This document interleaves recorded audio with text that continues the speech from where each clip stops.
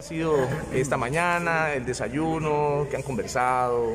Bien, bien, bien. O sea, bueno, ya la fracción habíamos tenido una reunión grande ayer, viernes.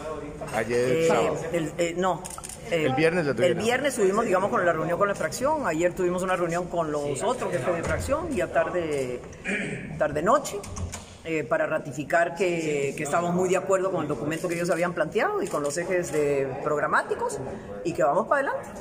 Doña Pilar, precisamente ese mensaje que mandan las cuatro fracciones dejándolos a ustedes y al FA por fuera. ¿Qué piensa usted? Porque ese mensaje es bastante extraño. Pues yo no diría que extraño, yo no sé, ellos tienen todo el derecho de hacerlo, ¿verdad? Eh, nosotros, como hemos dicho, nos gustaría estar en el directorio, pero no es para nosotros algo que nos desvele o algo que, ¿verdad? Eh, sí nos gustaría, no somos hipócritas y lo admitimos. Eh, creemos que el mensaje que tenemos que darle a la ciudadanía es esto, o sea, el país definitivamente está en una situación crítica.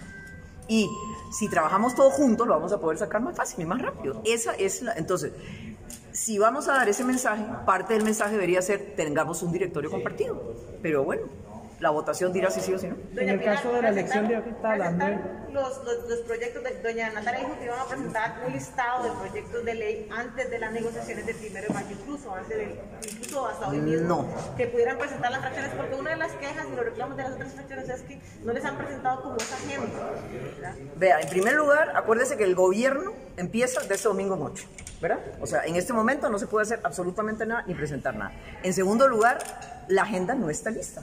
¿Por qué? Porque nosotros hemos dicho que esa agenda tiene tres ejes. Lo que vamos a rescatar de la corriente, lo que nos van a presentar las fracciones, que solo el Frente Amplio ha presentado, faltan cinco, eh, cuatro fracciones por presentar, y los proyectos de ley que está trabajando el gobierno en este momento. Algunos están listos y otros no pero no nos preocupa porque todavía tenemos amplios 10 días para, para pulir la agenda y presentarla. Sí queremos un compromiso de presentársela a los jefes de fracción días antes del eh, 8 o 9 de mayo. Además, acuérdense, el 8 de mayo recién ese traspaso de poderes y a partir del lunes ya empezamos en serio, pero vamos a ver si jueves o viernes de la semana antes ya podemos presentarle a los jefes de fracción la lista de proyectos. La agenda que se presentó ayer, doña Pilar, ¿qué le parece a usted de las cuatro fracciones, lo que llegaron a la conclusión de, esos, de esa agenda? ¿Sí?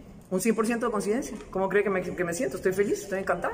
Doña ¿Por, Pilar, por qué está- considera que están, están fuera, digamos, de esa, por ejemplo, esa de presentarse aquí las cuatro fracciones juntas? Porque ustedes consideran que eso sucede, doña Pilar. ¿Cómo lo interpretan ustedes? como Porque nosotros somos oficialistas y ellos son oposición. O sea, tiene lógica. Pero el FA no, ¿Perdón? el FA no.